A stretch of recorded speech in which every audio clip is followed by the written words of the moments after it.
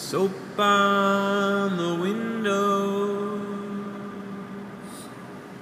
soap on the windows of my high school car.